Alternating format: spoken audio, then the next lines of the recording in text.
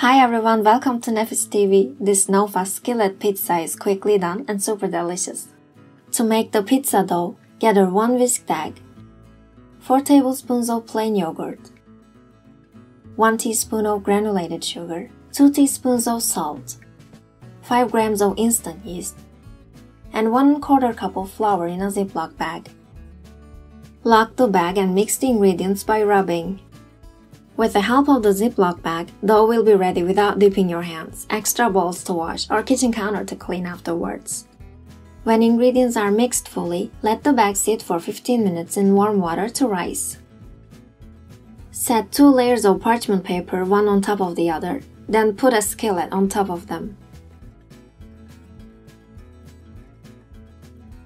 Cut the parchment paper slightly bigger than the skillet.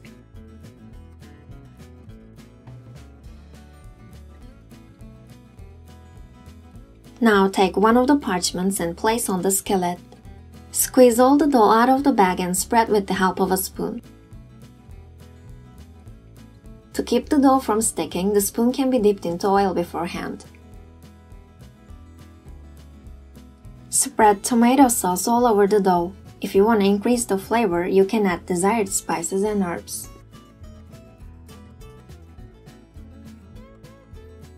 Sprinkle heavily with grated mozzarella. Place desired toppings on the mozzarella. We used sliced pepperoni, olives, and cherry tomatoes.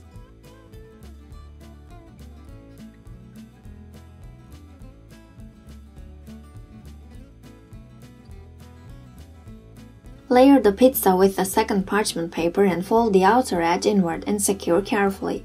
With the help of the parchment paper, pizza will be cooked well on both sides.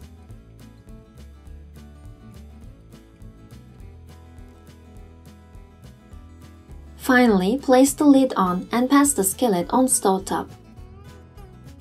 Cook on low heat until golden brown on the bottom. Peel the parchment paper off and transfer the pizza to a serving plate.